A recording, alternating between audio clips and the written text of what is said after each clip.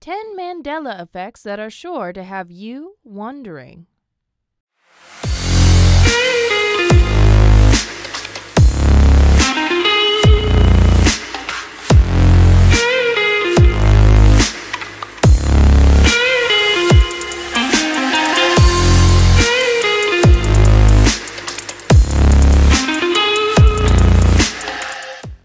Hi there, and welcome to Boxx Factory.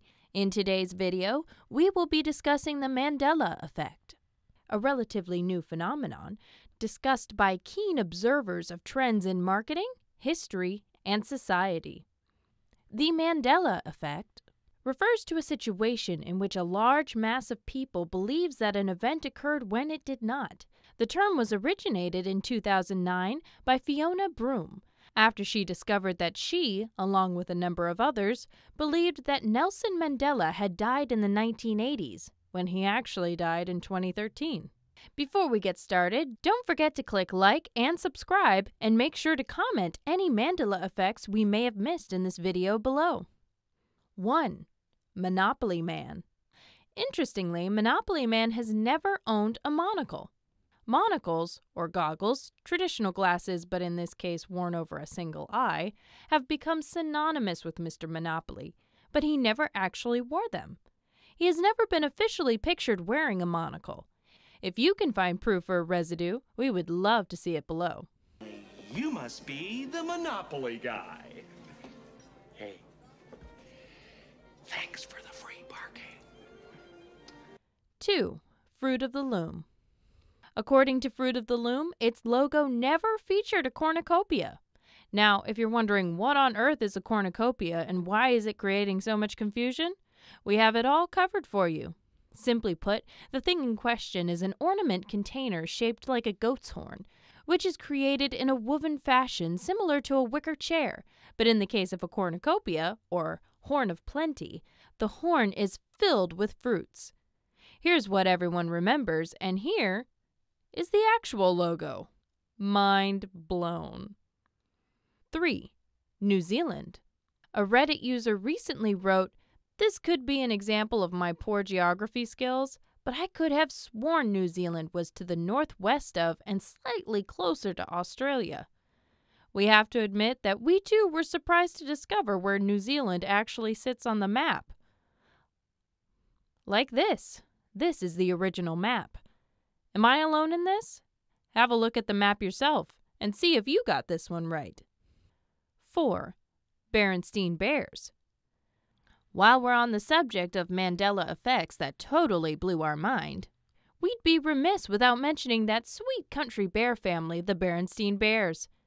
Wait, do you think we've hit a typo? Many report the family name spelled Berenstein with an EIN instead of an AIN. But no, they are the Berenstains. Always have been, and likely always will be. 5. Mirror, mirror. Magic mirror on the wall, what is the next amazing Mandela effect to exist? Yes, you heard that quote correctly. Casual viewers and die-hard Disney fans alike will remember the iconic quote from the classic animated film Snow White. In this quote, the evil queen confronts the magic mirror about Snow White. All of them. Oh my god, I can't even say that anyone who hasn't seen Snow White has heard this quote at least once. That could probably be said about everything Disney does, but how well it's known. 6.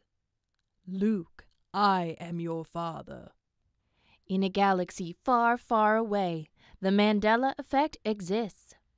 Yes, the phenomenon has even infiltrated Star Wars. While even the most die-hard of fans quote a quintessential moment in The Return of the Jedi as Darth Vader saying, Luke, I am your father. That's not what he said. In actuality, Vader said, No, I am your father. 7. Sinbad in Shazam. Sorry, 90s kids. Sinbad has never starred as a genie in a movie called Shazam, despite what you think you recall. The fact has not stopped multitudes on the internet from believing in this fictional movie.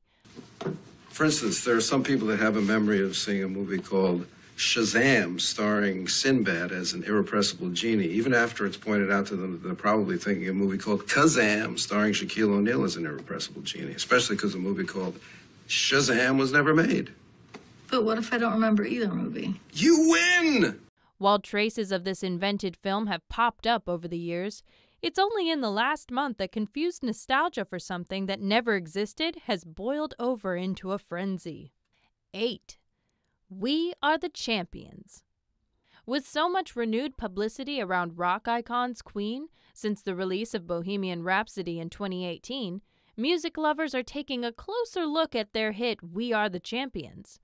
It became an accepted notion that lead singer Freddie Mercury passionately ends the song by singing, Of the World.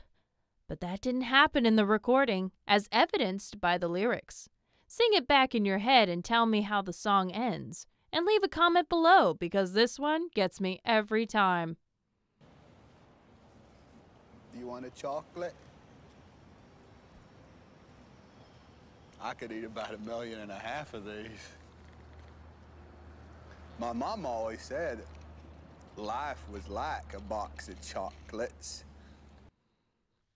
9. Forrest Gump. Here is a cinematic head scratcher for you. In the highly popular 1994 film, Forrest Gump brought a lot of attention to a delicious box of chocolates. While most movie lovers remember the quote as, Life is like a box of chocolates. You never know what you're going to get. Gump actually says, Life was like a box of chocolates. I have seen this movie a hundred times and could have sworn the quote was, Life is like a box of chocolate. So, what is happening here? Before we get into it, here is our contest for the week. To enter, make sure to like this video, subscribe to our channel, and leave your favorite Mandela effect below, and any proof you have. The winner will be selected and receive a $50 Google Play gift card. Okay, so here's the explanation. Alternate dimensions merging due to CERN, what we feel are Mandela effects, are actually residual memories that we have retained. While the rest of our visible universe has changed, all matter, time, and history has been rewritten, and while it is 99.99% accurate as we remember it, some things must have gotten mixed up. Call it a glitch in the matrix, perhaps.